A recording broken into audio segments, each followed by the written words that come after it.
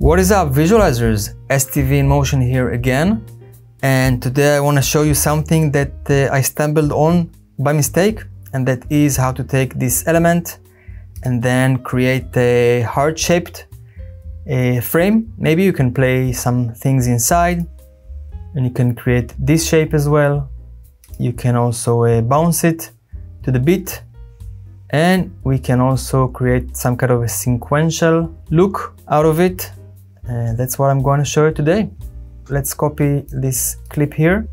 Just want to emphasize that uh, this clip is with transparent background with alpha channels.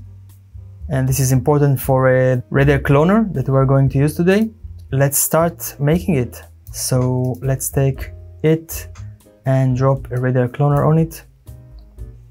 Let's up a little bit the number of clones and use the fan here and maybe we can up a little bit the clones. And maybe also use the star rotation. And if you are if you can notice we already have here kind of a half of the heart. And then we can rotate it. And if we add another transform and push it to the side then when we'll add a mirror we'll have uh, some kind of a heart forming in here. Let's fine tune it so I can see the radius is a little bit too big.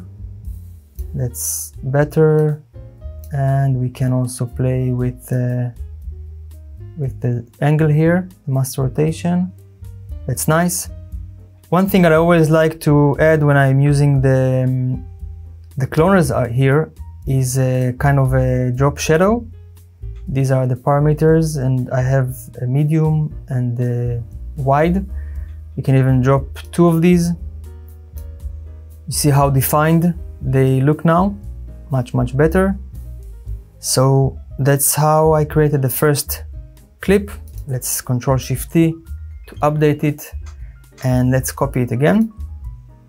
The next one is just uh, playing with the size here so we can close these.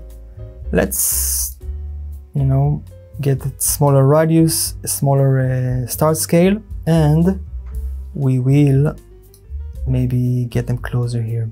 It's nice. I really don't want them to protrude here so I'm going to yeah that's nice. So once we got this heart-shaped array we can uh, bounce it and you saw me doing it a couple of times, I'm sure. Let's do it again. Just a simple bounce on the scale with a BPM sync. It will start in 100% and will uh, add like 20% and hope nobody will uh, notice that we are upscaling it too much. And then we can add an envelope and then add a kind of preset here to make it bounce on the beat and it looks great. Let's copy this and let's close this bouncy thing for now. By the way, did you know that you can rename and call this a bounce? That's nice, isn't it?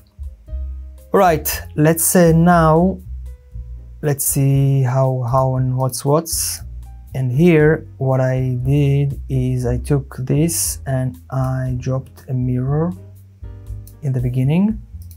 So this is the the element I'm going to use from now on.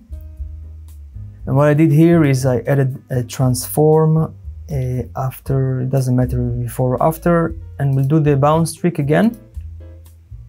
But this time it's going to be from 80 200 because it's already uh, at the maximum size here. That's nice. Of course, let's add an envelope. What we just have here is like, this is at zero and this one is 2%. This is at 25 and this should be 27. So really fast moving from smaller to bigger. And this will help me when I will add a radial cloner now. Let's open this as well and I will use the delay to make it look sequ sequential like this. It's already great. Let's just even better.